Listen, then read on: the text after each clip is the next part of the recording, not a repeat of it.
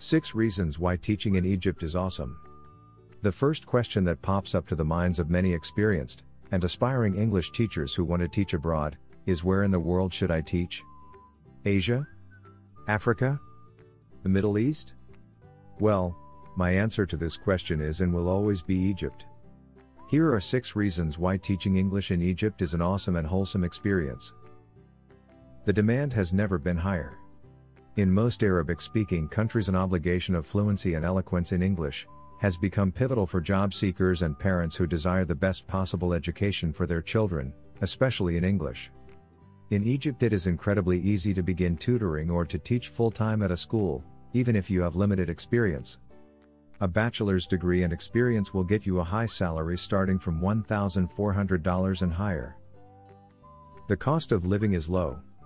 Cheaper than the Middle East and more expensive than Africa, the cost of living in Egypt is still low, particularly when compared to an English teacher's salary.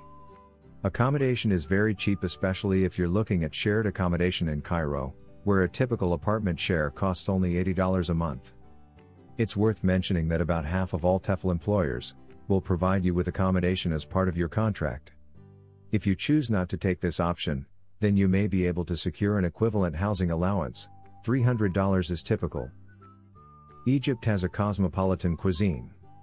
Egypt's national dish is considered to be kushari, which is a pasta dish with ingredients including tomato sauce, lentils, garlic, and chickpeas, and it's enjoyed by the Egyptians at lunch. Whilst the origins of this dish are actually in Britain, Italy, and Latin America, the idea of mixing all the ingredients was conceived in Egypt, technically making it an Egyptian dish. Another popular Egyptian dish to try is baba ganoush, which is mashed aubergine mixed with lemon juice, salt, pepper, spices, and oil, resulting in a smoky flavor. This is served with aish, which is the Egyptian version of pita bread. On top of all of that, Egypt has a variety of other cuisines from all over the world, from the ubiquitous American style junk food to the lesser prevalent Filipino cuisine. Egypt has great cities to live in. Likely you will be in Cairo or maybe Alexandria, and if you are lucky, Hurghada, Luxor, or Sharm el Sheikh. None of these would be anything to scoff at, there are amazing food, people, several outdoor activities, and relatively great weather throughout the year to occupy yourself at all of these locations. Egyptians are amicable and welcoming. Egyptians are very accommodating, and they will go out of their way to help you and respond to any questions that you may have. These are very friendly people who will welcome you with open arms, so don't be afraid to ask questions if you are unsure of how to proceed with an activity or event. Many travelers are pleasantly surprised by the hospitable attitude, and take wonderful memories home with them, and you will too. The culture is boisterous and the scenery picturesque. Egyptian culture has 6,000 years of recorded history.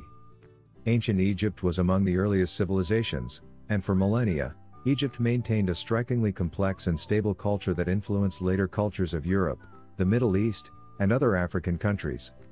After the Pharaonic era, Egypt itself came under the influence of Hellenism, Christianity, and Islamic culture.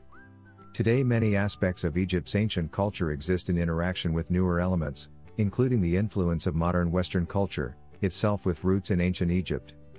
Furthermore, Egypt just seems to have it all a huge desert, countless beaches, and a lot of museums, and sites which will help you dive into the Egyptian culture, while simultaneously interacting with the people there in the old towns, and have a better understanding of the Egyptian mentality. Are you ready to teach English abroad? Thanks so much for watching. We are ITTT, the leading provider for TEFL and TESOL training courses. If you like this video, please subscribe by clicking that button down here and click on any of the videos here on the left for more interesting teaching tips for getting certified to teach English abroad and online.